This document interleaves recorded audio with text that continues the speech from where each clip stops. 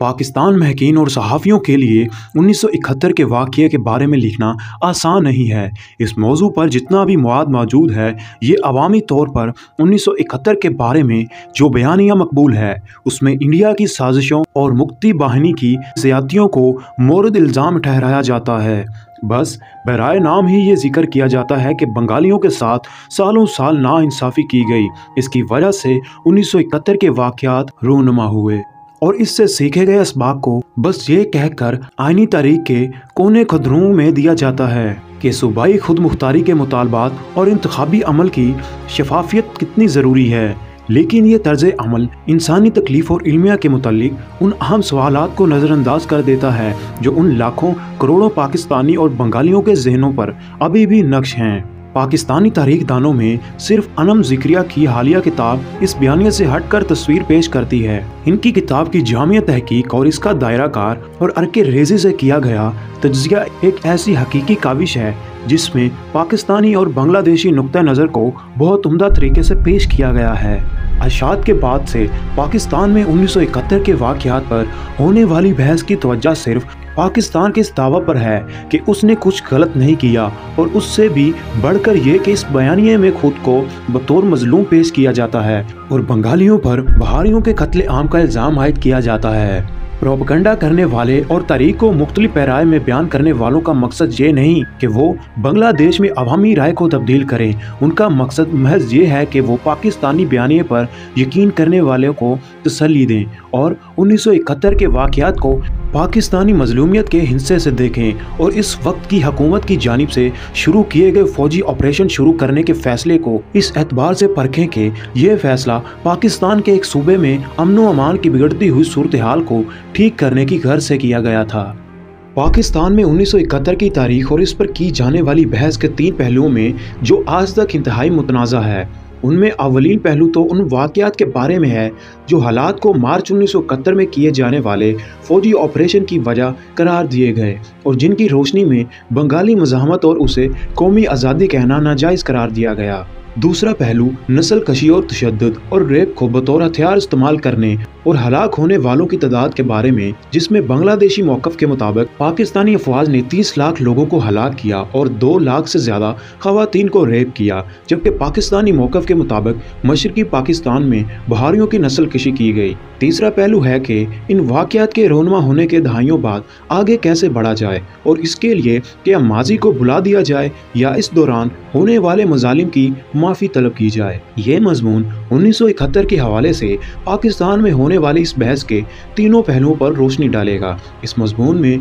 राकेम की कोशिश होगी कि ये साबित किया जाए। मंदरजा भाला तीनों सवाल एक दूसरे से जुड़े हुए हैं, और ना सिर्फ़ के ये महज तारीख के सवाल हैं, बल्कि किस तरह यही सवाल पाकिस्तान में जमहूरियत के मुस्तबिल के लिए अहम हैं। इस मजमून की शुरुआत उन्नीस सौ इकहत्तर की जंग या वो वाक़ जो उस जंग का सबब बने, या हती के पाकिस्तान के क्याम से नहीं होगी, बल्कि हम उससे भी सात साल पीछे जाएँगे, जब 23 मार्च 1940 को लाहौर में करारदाद पाकिस्तान मंजूर हुई, जिसने पाकिस्तान और बांग्लादेश के क्याम की बुनियादी ईंट रखी। मुस्लिम लीग के सालाना इजलास में पेश किए जाने वाली करारदाद लाहौर ने खुद मुख्तार आज़ाद रियासतों के क्याम का मुतालबा किया, लेकिन सिर्फ़ चंद बरस बाद मुस्लिम लीग ने करारदाद में रियासतों को बदल कर इंडिया के मुसलमानों के लिए रियासत में तब्दील कर दिया। इसके बाद पचास की दहाई में बंगालियों की जानब पहले हुसैन शहीद, सरहवर्दी और बाद में शेख मुजीबुर रहमान की क्यादत में कि पाकिस्तान का वफाकी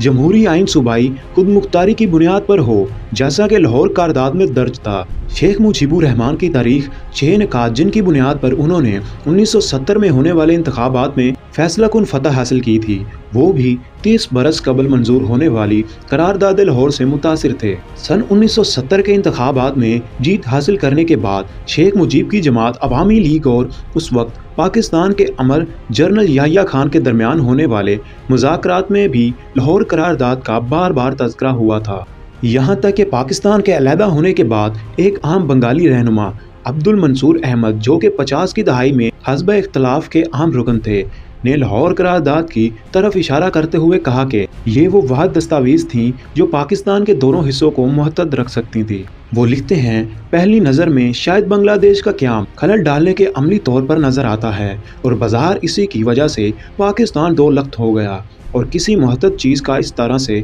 टूट जाना, ख्वा, वो किसी भी वजह या मकसद से हुआ हो, एक नापसंदीदा अमल है। लेकिन इस बांग्लादेश में पेश आने वाले अलमनाक वाकियात ये ज़ाहिर करते हैं कि कि हमारे सियासी अभाव अजदाद के बनाए हुए मंसूबे नाकाम साबित हुए, बल्कि ऐसा इसलिए हुआ कि क्योंकि हम उन मंसूबों के रास्ते पर भड़क गए थे। तो हमें अपने से पहले आने वालों के बारे में शर्मिंदा नहीं होना चाहिए, बल्कि इन पर फ़ख्र महसूस करना चाहिए। उनका दिया हुआ मंसूबा इतना उमदा और दोहरे रस था कि इससे अलग होना हमारे लिए जहर कातिल साबित हुआ और बांग्लादेश का क्याम नागजीर ठहरा। ये बस इस बेवफाई का अख्ताम साबित हुआ। तो जहाँ हम 23 मार्च से बतौर योम पाकिस्तान बहुत जज्बाती लगाव रखते हैं, वही इस बारे में ज़्यादा गौर नहीं किया जाता कि इस दिन का मतलब क्या था और बंगालियों ने कैसे इस करारदाद को एक जमहूरी और गैर मरकजीती पर मबनी रियासत के दो हिस्सों के दरमियान मज़बूत रवाबत कायम करने की नज़र से देखा था। मशरकी पाकिस्तान में 1970 और 1971 में जो हुआ, उसे ऐसे समझना चाहिए कि सालों से बंगाली अवाम के साथ होने वाले मुजालिम और इस्तेसाल के नतीजे में उनके अंदर भरे हुए गुस्से और उबलते हुए लावा को बंगाली रहनुमाओं ने किस तरह से सेंचा और उन्हें उस जोशो जज्बे की मदद से इन मजालम से निजात हासिल करने के लिए इनकलाब का रास्ता दिखाया। ये वो लम्हा था जब अवामी लीग के हामी अपने साथ होने वाली नाइंसाफ़ियों के खिलाफ आवाज़ उठाने के जज्बे की ताकत से सरोशार महसूस हो गए और पाकिस्तानी रियासत की जानब से एहतसाल पर मबनी हमत अमली और धौंस के बिल बोते पर ताकत के खिलाफ खड़े होने के लिए तैयार हो गए। बिलफर्ज अगर ये मान लिया जाए कि बहसीत एक खुद मुख्तार रियासत पाकिस्तान के पास पूरा हक था कि वो अपनी सरहदों की हिफाजत की खातिर इस बगावत को नाकाम बनाए, इसका कतई तौर पर यह मतलब नहीं कि फ़ौज की जानब से मशरकी पाकिस्तान के शहरीों और बलखसूस वहाँ के हिंदुओं के खिलाफ की गई कार्रवाइयों पर उन्हें माफ़ी दी जाए। वो तमाम अफराद जिनके बारे में ज़रा बराबर भी शुबा था कि वो मुक्ति बहानी से ताल्लक़ रखते हैं या उनके हमदर्द हैं और वो जिन्होंने फ़ौजियों पर कहीं भी हमला करने की कोशिश की, उन तमाम अफराद को सरसरी समात के बाद सज़ाए मौत देकर उन्हें कत्ल कर दिया। इन इकदाम का मकसद बंगाली अवाम में डरो खौफ बिठाना था। डॉक्टर मेगा ने उन्हें बताया, जिस दिन पाकिस्तान, लाहौर या इस्लामाबाद में एक यादगार तामीर करेगा, जिसमें यह तस्लीम किया जाए कि इनकी फ़ौज ने 1971 में कितने ही बांग्लादेशियों को रेप और कत्ल किया था, इस दिन मैं पाकिस्तान को माफ़ करने के बारे में सोचूँगी। 1971 की जंग की यादगार तमीर करने का मुतालबा करने का मतलब है कि डॉक्टर मेगा चाहती हैं कि माजी को तस्लीम करने से एक नई किस्म की सियासी कैफियत को सेंचा जाए। ना तो कभी भी संजीदगी से इस मामले पर किसी को जिम्मेदार ठहराया गया, ना कभी मुफाहमत करने की कोशिश की गई, और ना ही मुतासरीन से कभी मुआफ़ी मांगी गई।